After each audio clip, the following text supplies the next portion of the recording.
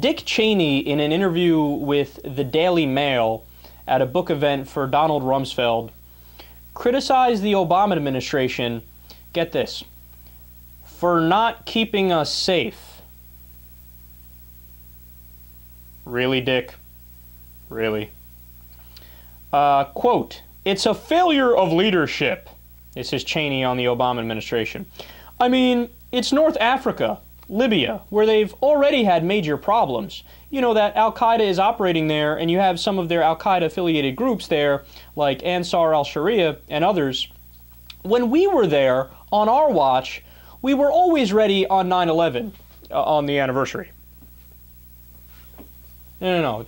You realize how awesome that is? Uh, let me read the last line one more time. When we were there on our watch, we were always ready on 9 11 on the anniversary. Okay, why did he slip in those last three words on the anniversary?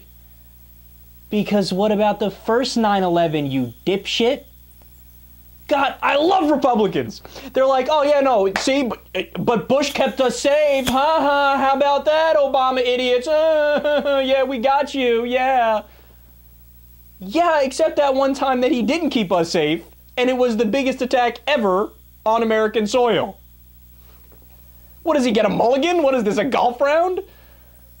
God, they're so silly, man. Furthermore, look, the uh, 9 11 attacks, there was a memo on Bush's desk that said, Bin Laden determined to strike inside the United States. It was a CIA memo. He might as well have used it for toilet paper. He didn't have a single meeting on bin Laden or Al Qaeda when he got into power until when the attacks happened, whereas Clinton was having meetings left and right. God, these guys are so brazen. I mean, it's the classic move. They go on the offense when they're the ones that are completely guilty, right?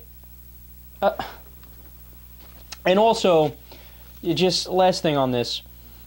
Under Bush and Cheney, there were 11 embassy attacks, 53 deaths, 90 injuries, and the attacks occurred in places like Islamabad, Karachi, Saudi Arabia, Yemen, Istanbul, and a couple other places.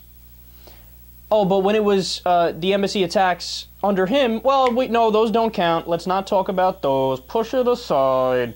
But a Benghazi under Obama, God damn Obama, why you messed it up again? I, we hate you, we hate you. He can't keep the country safe.